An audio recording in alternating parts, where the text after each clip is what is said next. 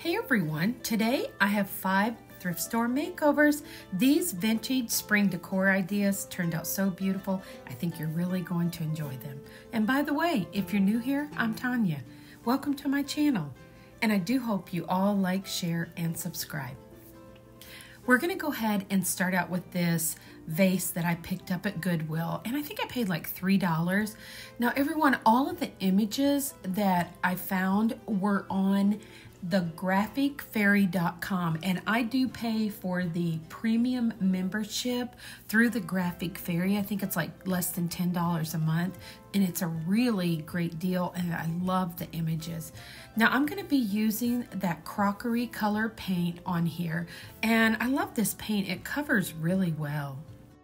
And this is one of the DIY paints and it's Debbie's Design Diary DIY paint. So I just love it. These paints are so wonderful. So I would definitely check them out. I'll try to leave a link in the description box for you. Now the first one that I'm going to be doing is this um, Lily of the Valley is what I think these are.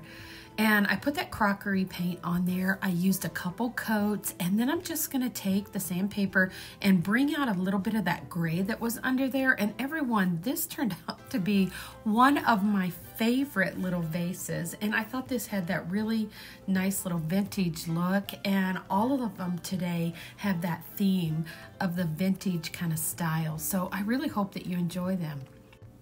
Now that I've got the front of the vase covered with the Mod Podge, I'm just going to gently put this little napkin on here. And everyone, yes, it is a napkin. I printed these designs on some napkins and I did that through the whole thing. So if you would like to see how I actually did that with my printer, drop that in the comments below and I'll make a video of that. And someone had mentioned to me to try that saran wrap thank you, whoever you were. I cannot remember, but yes, that was a game changer for me. So I've really enjoyed that. It made it a lot simpler. But everyone, look how beautiful this turned out. All I did was pop some little short greenery in the top because I thought this image was just so beautiful and what a really nice little decor piece for spring. Now for our next one, I picked up this little picture. It was actually at Goodwill, and uh, I think I've seen this at Hobby Lobby, but someone got rid of it. So I picked it up, I think, for like $4. And you notice that I am cutting out my images instead of doing that wet technique around the edges. And I just seem to have really good luck just kind of cutting these out. And sometimes I'll wiggle my scissors to make it a little bit curvy around the edges. But this was so fun. I love this one. I think that it just turned out so beautiful. And I love how it was just the little birds in the middle by themselves. And I'm using that crockery color again by the DIY paint. And I was really surprised how well this covered. I put two coats on there and it covered up every bit of the wording that was on there. Now I will be taking some truffle paint and um, going over the wood part and I really was just trying to pull in that brown color that I seen in the birds. Like if you notice when I put the birds on here, even the breast area of the birds had a little bit of that brown running through there. And I always like to reach in there and pull out all these little colors. But everyone, this one turned out so pretty. So I really am enjoying these today. So I hope you stick with me to the end. And if you can find one of those little bird emojis, you can pop that in the comments below because a lot of these have the little birds or a little flower even. But now that I've got the uh, truffle paint on there and uh, our crockery paint, I'm just going to go ahead and put a, quite a bit of Mod Podge on here. And I like to use the matte Mod Podge. I really think that works well. And I think what I like most about the matte is that it doesn't leave any kind of sheen or glare on top of it. But everyone, let's put our little birds right there in the center. And these little birds could not have been cuter. And like I said, I'll leave the link uh, in the description box to the Graphic Fairy. And you know, I am not going to do anything else. I thought about adding a little something else to this, But once I got these on here and I got it hung up on the wall, it was just adorable. And I love the simplicity of this one. And I just thought it was a really sweet little vintage style design to hang up for spring. Now I am going to go ahead and add some more of that matte Mod Podge, of course, on top of here and just seal everything in. And even though this is a matte, I think it really does kind of highlight the colors once it dries and kind of seals everything in. But everyone, I hope you're having a wonderful week. Um, I'm going to be doing the DIYs on Saturday. And of course, I'll always try to do these thrift store makeovers and upcycles on Thursday for you. Now I'm taking the DIY paint and this is the, the, sorry, this is the DIY wax. And I just wanted to rub that black all over there to really make it rich. But everyone, look how beautiful this one turned out. I think it made an adorable wall piece for the spring season.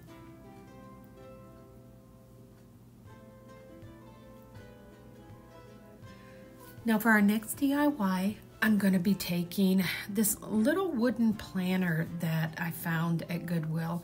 And um, here's another one of those beautiful uh, little prints. And like I said, I printed these out on napkins. While I'm putting this one on, I can kind of tell you how I did it. And like I said, if you'd like to see that, you can leave it in the comments below. But what I do is I just take one of the clear parts of the napkin. I used or napkins from Dollar Tree, actually.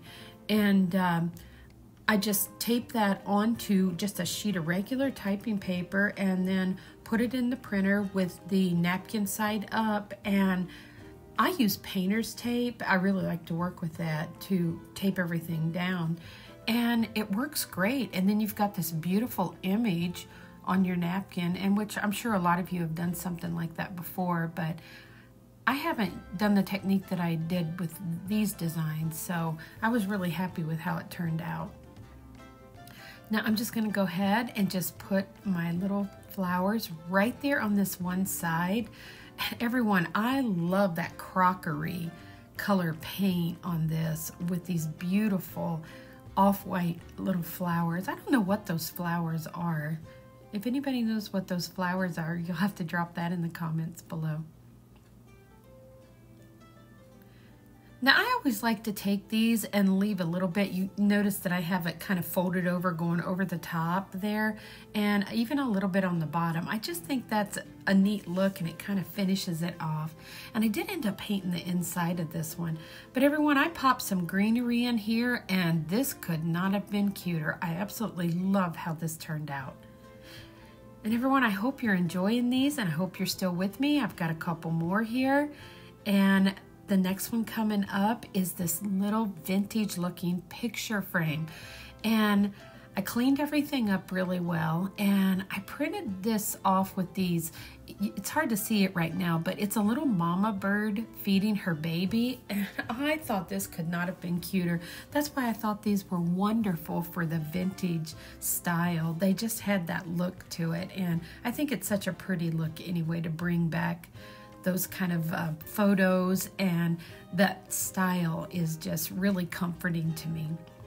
Now once again, I'm using that crockery and I just took the cardboard that was in the picture and just painted that and I'm just going to actually place my little um, napkin with the print on it right on top of here and I thought about using a little board, but the cardboard was thick, and once I got it in the picture frame, everyone, it looked great. Now you can see I'm just gonna pop the little bird feeding her baby right there in the middle and smooth everything down. And I did the same thing on this. I pulled out some of the colors that were actually in this print and I'm gonna go with some of that brown and the truffle paint and then some more of the black just to kind of detail it. I really wanted to just kind of age up the frame a little bit. The frame was really pretty by itself, but I just wanted to pull in a little bit more of those colors and give it a little bit more age look. But everyone, drop in the comments below and let me know if you're enjoying me doing the recycled and thrift store makeovers and everything on Thursday. Uh, it's something I'm really enjoying, and I have quite a few more items to share with you. And I will be doing, I'm thinking I'm going to be doing the Dollar Tree DIYs on Saturday. So I hope you can come back for that. And uh, I know it'll be the Easter weekend but I'll be uploading around 7 p.m. on Saturday. Now you can see what I did there. I rubbed that all over and then I just took a baby wipe and wiped off in the center and that still left a little bit of that truffle color just in the creases. Now I'm taking that black wax and just kind of going all around and I really like how that just really added that little age look and kind of give the borders of this little picture frame a really neat look. I had to clean my glass. I had gotten paint all over it when I touched it. Now I'm going to go ahead, pop my glass in and pop my little cardboard in there with our print on it. And you'll see me here in a moment. I go ahead and just take some of that black Indian ink paint and rub on there and got rid of that little signature because I recreated this and made it my own. Well, everyone, here this one is setting up displayed for you. And I think this couldn't be cuter. What a sweet little vintage spring piece that I think would look nice anywhere in your home. Now for our last DIY, I had this tin, I think it's like tin silver. I don't know what this, I don't think it's actually silver, but I had already rubbed some of that patina color. I think it was uh, Pennies from Heaven from the DIY paint. And I rubbed that all over there because I wanted to pull out just a little bit of this gold color to uh, try to pull that color out that you see there in the birds. Those birds look like orioles to me. And uh, I don't know if that's what they are, if they're robins. I guess in a way they look more like robins. But anyway, I thought they were a really pretty design and I was actually going to use this not as a tray, but use it as just like a leaner up that I could put up against the wall or on a shelf and just have it standing up. And I did the same thing I just added the birds right to the center here, just patted them down once again with that wonderful saran wrap. really works great. And I'm gonna do the same thing. I am really gonna age this one a lot. And I got a little tip for you that works great when you're really aging these a lot. All of the white that you see around the bird, I take that black wax and dab over top of that paper and it really makes that paper kind of look like it's sinking in where you can't see it. And because I was going for a very aged vintage look on this design, this worked wonderful on this one. Now, if I wasn't going to do that, I probably would have tried to wet around the edges some, but this worked wonderful. I think I actually did use a little water to kind of get this little kind of ragged look, but that's how I wanted this one to look. And I just kept aging this. You'll see me in a moment. I'll really start adding the black wax around all of the little raised up places, embellishments on the tray there. And once I got it done, it really looked like an old, old tray and it was just beautiful.